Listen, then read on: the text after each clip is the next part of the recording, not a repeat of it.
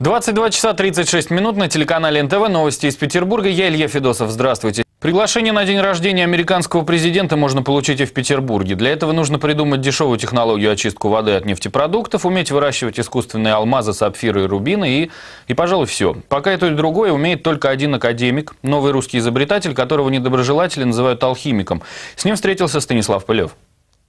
Сегодня Виктор Петрик продемонстрировал свое очередное изобретение. Американцы тестируют технологию, которую собираются купить. Установка очищает воду, загрязненную опасным химическим веществом. В последние годы его добавляют в бензин для повышения октанового числа. В двигателе добавка не сгорает, а с выхлопными газами попадает в почву и грунтовые воды. После прохождения же через фильтр Виктора Петрика жидкость можно пить. Изобретатель заявляет, что за три месяца решил проблему, над которой долгие годы бились ученые многих стран. За глаза коллеги иногда называют Петрика алхимиком, что академику даже нравится. Алхимия для меня – это святейшая и первейшая алхимия, алхимия души и алхимия э, понимания жизни. Это не так узко. Мы знаем алхимиков как людей, которые якобы хотели сделать там камень, э, найти вечный. Но э, это все намного шире.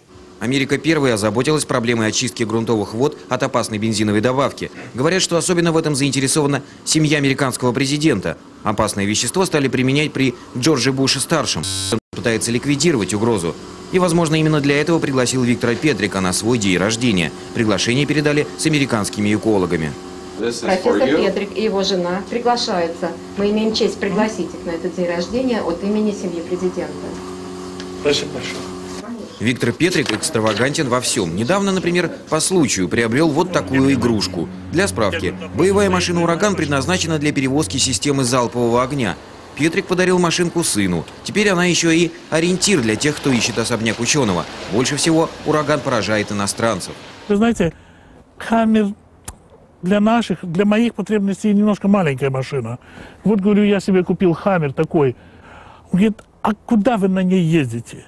Вы знаете, в России бывают такие финансовые споры, называются разборки. Вот я езжу на ней на разборки.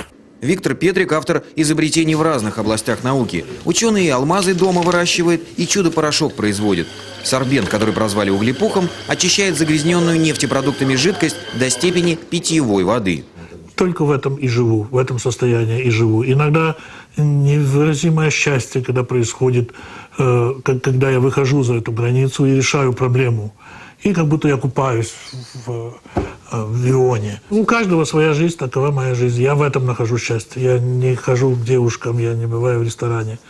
Э, я компенсирую это тем, что вот у меня есть мое творчество.